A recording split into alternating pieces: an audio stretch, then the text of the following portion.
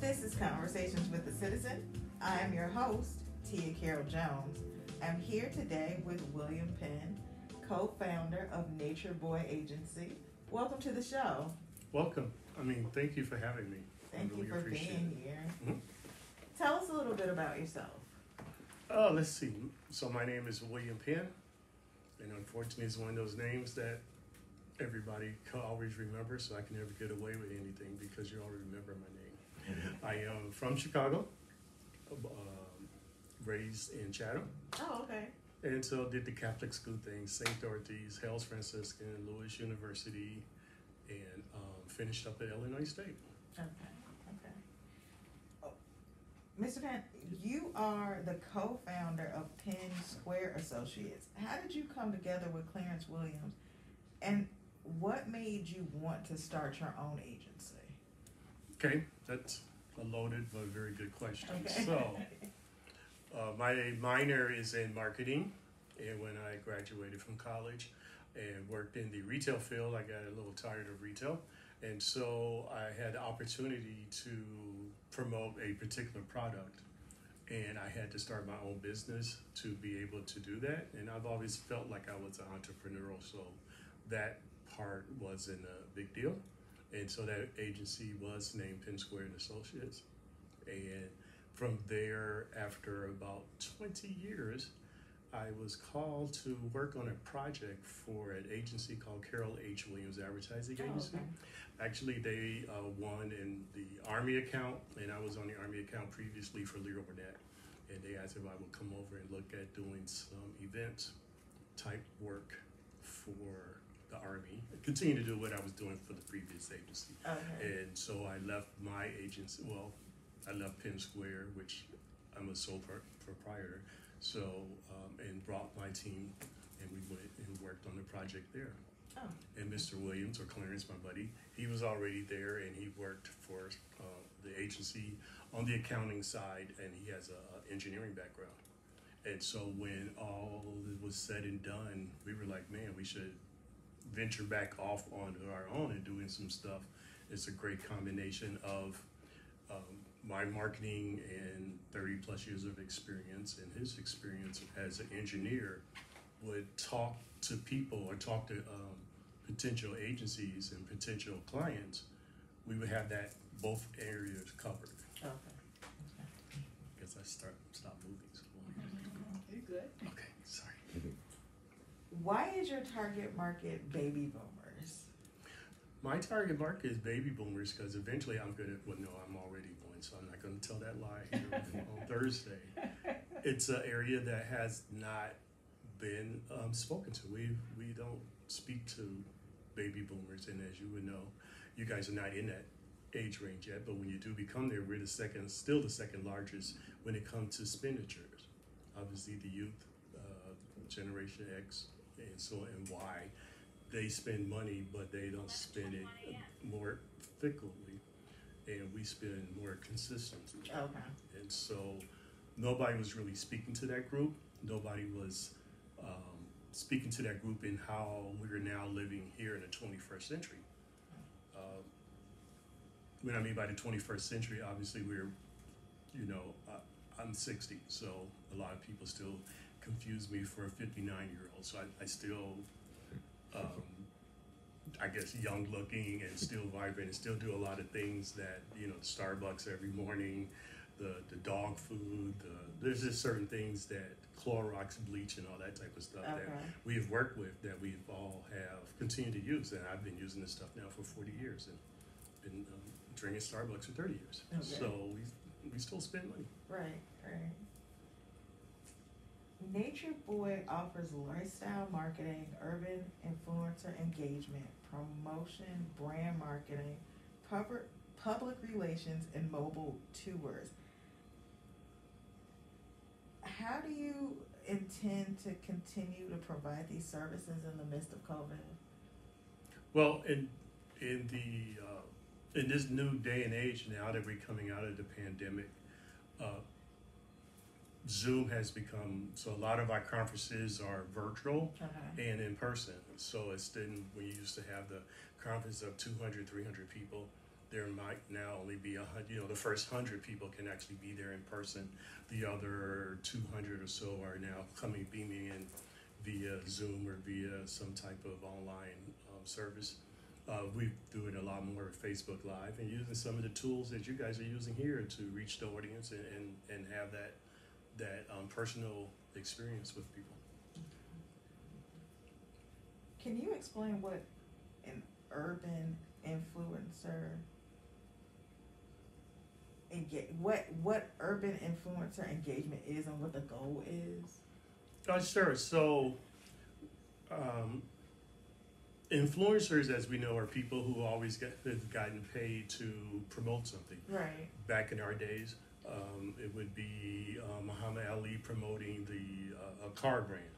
So they would consider him an urban influencer, and because he drive a Cadillac or whatever the particular car at the time, we, he's people, the advertising agencies, and of course the client is hoping that that when people see that they would jump on it and buy a Cadillac because uh, Muhammad Ali uh, drove one.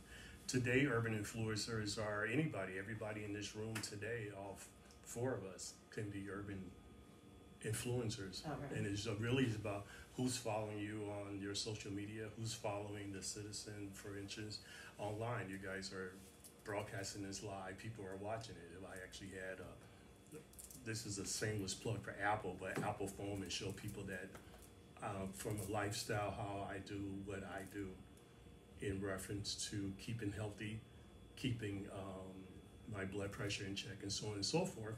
By utilizing this, your your people be like, oh my God, I, I want to be able to do that. I want to prick my finger every day to, to check for my my um, my sugar level. But by now taking this and putting my finger on the camera, I can tell that my sugar is, is and this is an example, even though it, it has been done, but it's not out publicly yet. Okay. But um, so that's what influencers do. I would take on these the persona of different products, and and you know every morning when I drink my Starbucks, I read the Citizen, and so by me reading the Citizen, and seeing what's going on, people are like, oh okay, well why is he doing that? Oh that's William. Yeah, we've been knowing William for the last 20, 25 years because he's been on all the news channels and everywhere in the city of Chicago and abroad and, and talking about different products and different things and different social engagement. Let's follow him. And now that they're following me, they know, oh, okay, well, maybe I should read The Citizen because he's reading it, he's getting all this knowledge from it. And instead of me waiting for him to tell me the knowledge, I want to get the knowledge myself first. Okay. Okay. Great. What is it like to start a business during COVID nineteen? It was, it was very hard, but it was interesting. By having COVID 19, I think, and I was just driving a few of the communities coming over here, and sorry for my tardiness, but there was some, a lot of traffic and so on and so forth. I think COVID has given, uh, kind of leveled the playing field Okay. for a lot of entrepreneurs to be able to jump into the game now with very little money or very little, um, you know, upkeep because everything is done virtually and everything is was it's online. And so just being just having a, um, I see you guys using iPad Pros. You know, just using iPad Pro, um, starting a website, you can start a business. Now, getting the following, and when you go back to your urban influencers and so on and so forth, having people um, watching me on on here on Facebook Live, and when I'm on KNTV, they watch me there for um, for um, different things. So now I'm beginning to have a small following, and then with that following, I'm able to really get some thoughts and get some um, um, help and exposure out to some, for some of my clients and some of the things that I believe in. Okay. And speaking of clients, who are some of the people that you've been working with? Uh, in recent times, I've been working with uh, Chicago Area Project. Um, been working with Northwestern. Uh, working with um, Lurie's Children's Hospital on an upcoming uh, little piece. And then um, we went back to our, I guess, the mothership, Carol H. Williams Advertising Agency, and some of their clients, and did just signing contracts where we would just be their engagement um, group. So when they get a bigger contract and they need to have some sort of social engagement, some sort of event component around what they're doing, we would be the agency of choice to um, execute that for them. How have you taken your previous ex- experience and expertise and used it to make sure this company is successful? Well, we, we took a lot of the basics, no Okay. matter when you was born or whatever you do, there's some basic things that you need to know. And everybody, if you know anything about engineering, engineering is all about solving a problem. Everything that um, most people do, including us here at this table, solving that problem. However, however you, whatever it takes to solve that problem. And once that problem is solved, there's somebody like me from the marketing or from the PR part of it that knows how to uh, get the word out on this problem that's here, why, why this problem needs to be solved. Here is, we think, the solution for this problem, and then from there, seeing that it actually worked. What are you doing to assist the next generation of marketing professionals? A very another good question. So we're why I mean our doors are always open. I'm all, I I mentor several uh, youth now in different not-for-profit agency about um, marketing, about events, about um, public relations, and so I always pull my cohorts from the PR world and from the advertising world in and have them come out and speak on these subjects and uh, been a really good component on workforce development and working with some of the non-for-profits who are working in that area. And we've always known the, the old workforce development was either you was the, the stop sign holder when they're doing the street or you pushing the broom, but it's like, no, let's get workforce development um, in social engagement or in these events that are happening at McCormick Place where somebody has to build that event out. And why couldn't that be us? Okay. I personally do that now for our clients. So I take um, the youth with me and even people my age and say, well, here's, here's a whole field that payments start, the hourly wage sometimes starts between 20 and 25, upwards of $30 an hour. Okay. And with that, you can you can live kind of nicely, and you're learning a skill, and you're doing something that, again, like I said, I'm 60, I'm still doing, Okay. and I unfortunately can outwork some of these 30s and these 40 year olds that are out there complaining after doing a 10 hour day. Yes, some of our days are long, 10 hour days plus, but when you're making that, you know, time and a half, what's that's uh, what forty five dollars an hour to hang TVs and plug in the electric. you can't really complain. It's a lot better than some of the other things you could do. For, for how much stuff can you do for forty five dollars an hour at least in out here in the streets and you know that's going on. Right, right.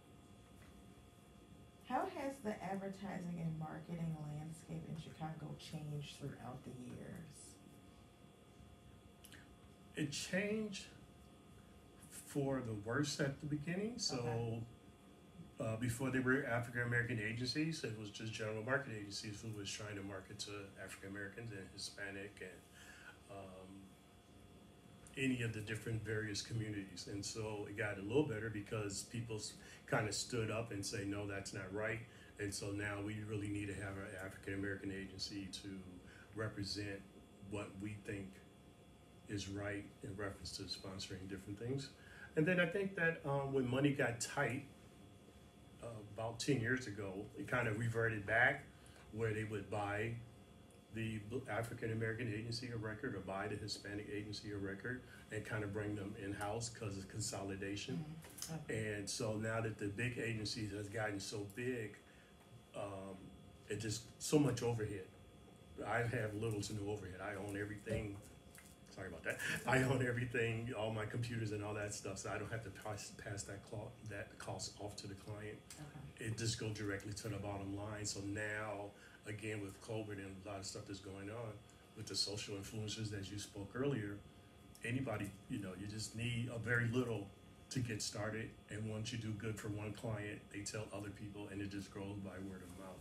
So there's a new groundswell of smaller agencies are beginning to blossom all over the country in different areas. What advice would you give younger marketing professionals and entrepreneurs? Um, to be thorough, to be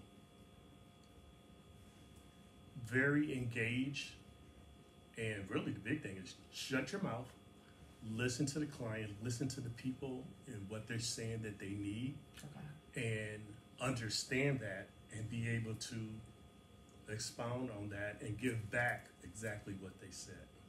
And it's not about you, it's about the product and it's about how they want it. And they're talking to you about how maybe how they want it done, but they're looking to you to either execute it, which is what they do for us. They give us a playbook, and it's our job to execute it.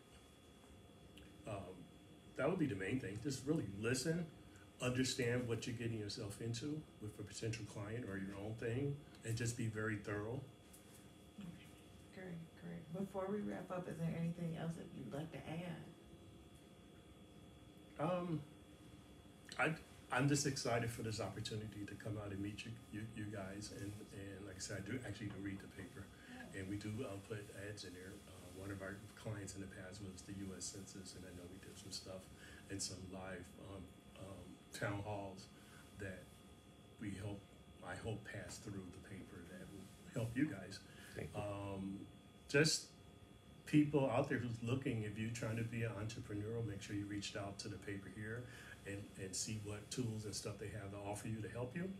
Um, if there is anything from a consulting for just a free conversation, you can always, you can kind of reach me through the paper. Um, just be consistent, and right now is the time to, to pounce. There's a lot of money from the federal, state, county, city, all the way down, trying to revive businesses of all colors and all all people. And if you have a uh, something that you had that may be closed, and this might be a time for you to get it reopened and not have that big of a a thing to, to hurt you. And um, just be consistent. Okay, great, great. Thank you. No, thank you guys. I really appreciate it. Again, I apologize for being late.